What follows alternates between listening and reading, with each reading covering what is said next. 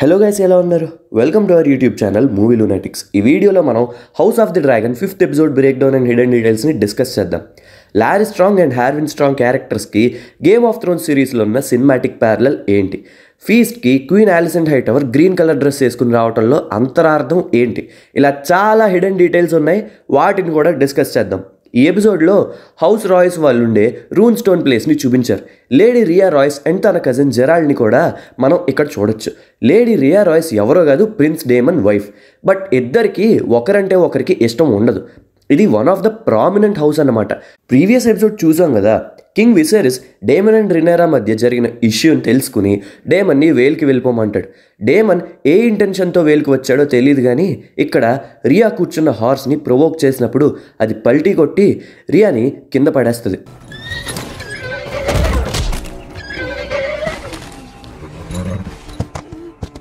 అప్పుడు lady Riya paralyse అయిపోద్ది. రినేరా and Daemon పెళ్ళి చేసుకోవడానికి మధ్యలో అడ్డుగా ఉంది తన వైఫే కదా. అదే ఛాన్స్గా తీసుకుని డేమన్ రియాని చంపేస్తాడు. కింగ్ విసేరిస్ హెల్త్ రోజు రోజుకి వర్స్ అయిపోతూ ఉంటుంది. ఇది రినేరా కూడా అబ్జర్వ్ చేస్తుంది. ముందు ఎపిసోడ్స్ అంతా కూడా డ్యూటీస్ అండ్ రెస్పాన్సిబిలిటీస్కి వాల్యూ ఇవ్వని అమ్మాయిలాగా ఉంటుంది. ఎప్పుడైతే విసైరిస్ ఏగంది కాంక్రర్ డేగర్ చూపించి బిగ్గర్ పిక్చర్ కనబడేలాగా చేశాడో అప్పుడు నుండి ఆలోచించడం స్టార్ట్ చేస్తుంది. తన ఫాదర్ కండిషన్ చూసి త్వరలో తన రెస్పాన్సిబిలిటీ తీసుకునే టైం రాబోతుందని అర్థం అవుద్ది రినేరాకి now she serious about her duties అని ఎపిసోడ్ మొత్తంలో తన మాటలు బట్టి అర్థం చేసుకోవచ్చు. టార్గేరియన్ హౌస్ స్ట్రెంగ్త్ని పెంచడం కోసం కింగ్ విసేరిస్ రినేరాకి లీనార్ వెలేరియన్తో మ్యారేజ్ ఫిక్స్ చేస్తాడు. ఆ మ్యారేజ్ ప్రపోజల్ కోసం వీళ్ళు డ్రిఫ్ట్ మార్క్ ఐలాండ్కి వెళ్తారు. ఇక్కడే హైటైడ్ ఫోర్ట్ ఉంటుంది. ఓటో హైటవర్ని పదవి నుండి పీకేశారు కాబట్టి ఎట్ ప్రెజెంట్ లైనల్ స్ట్రాంగ్ కొత్త హ్యాండ్ ఆఫ్ ది కింగ్గా సర్వ్ చేస్తూ ఉంటాడు. లైనల్ స్ట్రాంగ్ ఇద్దరు కొడుకుల్ని ఈ ఎపిసోడ్లో ఇంట్రడ్యూస్ చేశారు. Harwin Strong Larys Strong. Harwin Strong ఒక నైట్ ఈ క్యారెక్టర్కే బ్రేక్ బోన్స్ అని ఇంకో పేరు ఉంది one of the strongest knight అన్నమాట. బట్ తన బ్రదర్ లారీ స్ట్రాంగ్ ఒక హ్యాండిక్యాప్డ్ పర్సన్. ఒక కాలు సరిగ్గా ఉండదు. అందుకే ఫైటింగ్ స్కిల్స్ కానీ ఏం ఉండవు. బట్ లారీ స్ట్రాంగ్కి బుకిష్ నాలెడ్జ్ ఎక్కువ ఉంటుంది. వీళ్ళిద్దరిని చూసినప్పుడు నాకు Jaime Lannister and Tyrion Lannister గుర్తుకొచ్చారు. ఎందుకంటే జైమీ కూడా ఒక నైట్ టిరియన్ ఏమో ఒక డ్వార్ఫ్ కావడం వల్ల ఫైటింగ్ స్కిల్స్ లేకపోయినా మంచి నాలెడ్జ్ ఉన్న పర్సన్ డ్రిఫ్ట్ మార్క్ ఐలాండ్కి వచ్చిన కింగ్ని రిసీవ్ చేసుకోవడానికి లార్డ్ కార్లిస్ వెలారియన్ రాడ్. ఎందుకో తెలిసిందేగా.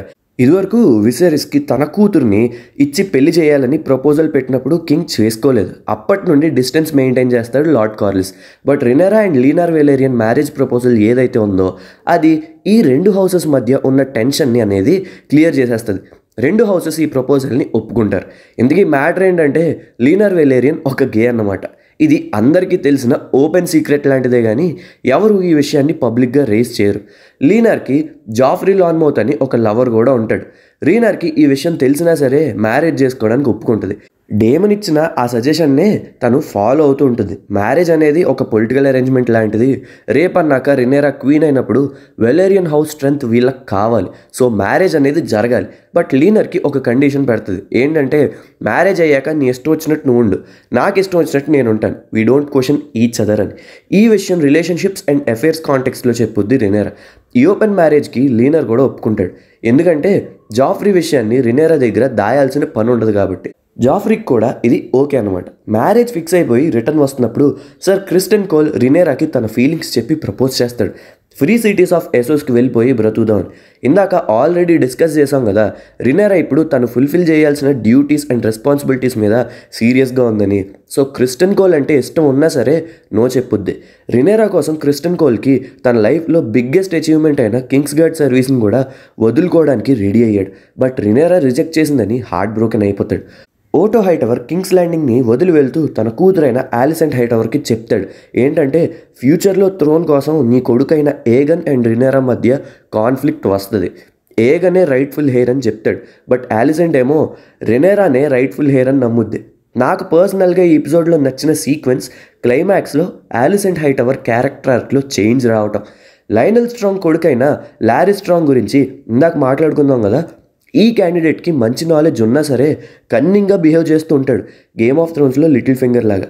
లారీ స్ట్రాంగ్ క్వీన్ యాలిసెంట్ దగ్గరికి వచ్చి ఒక డౌట్ని ఇంప్లాంట్ చేస్తాడు. ఏంటంటే మాస్టర్స్ చేత ఒక స్పెషల్ టీని కింగ్ విసెరిస్ ప్రిపేర్ చేయించి రినేరాకి ఇచ్చారు.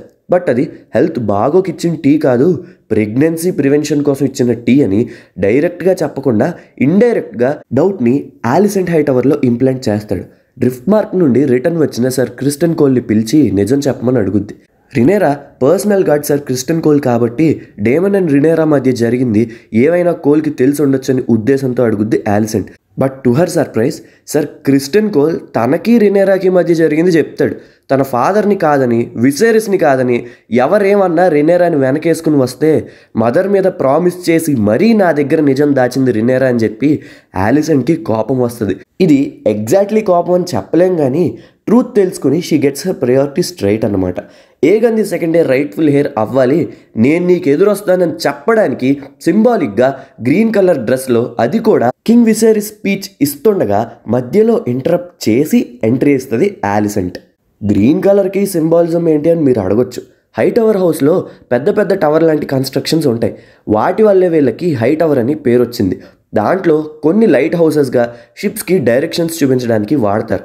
ఆ టవర్ పైన ఒక ఫైర్ అనేది ఉంటుంది ఎప్పుడు హై టవర్ హౌస్ ఎవరి మీదైనా వార్ డిక్లేర్ చేసినప్పుడు ఆ ఫైర్ని గ్రీన్ కలర్ పైరో ఫైర్గా చేంజ్ చేస్తారు. పైరోమాన్సర్ అని కూడా పిలుస్తారు. గేమ్ ఆఫ్ థ్రోన్స్లో బ్యాటిల్ ఆఫ్ బ్లాక్ వాటర్లో చూసాం. సో ఆలిసన్ గ్రీన్ కలర్ వేసుకుని రావటం వెనక అర్థం ఏంటంటే తను రినేరాకి ఆపోజిట్గా ఉంది. She declared cold war. తన కొడుకైన ఏగనే రైట్ఫుల్ హెయిర్ని చేస్తానని డీప్ మీనింగ్ ఉంది. తన డ్రెస్లో అండ్ తన ఐస్లో. Rhaenyra and Laenor wedding feast సెరమనీకి డేమన్ని ఇన్వైట్ చేయకపోయినా వస్తాడు. అండ్ రినేరాతో డ్యాన్స్ చేస్తాడు. ఇది చూసిన విసరిస్ ఏం చేయకుండా సైలెంట్గా ఉంటాడు.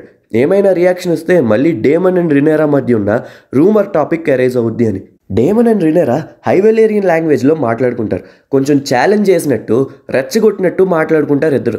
సేమ్ డ్రాగన్ స్టోన్ దగ్గర జరిగిన కాన్వర్జేషన్ లాగా. రియా రాయ్స్ కజిన్ అయిన జెరాల్డ్ డేమన్ని కన్ఫరెంట్ అయ్యి రియా చనిపోవడానికి డేమనే కారణం అని ఎక్యూజ్ చేస్తాడు.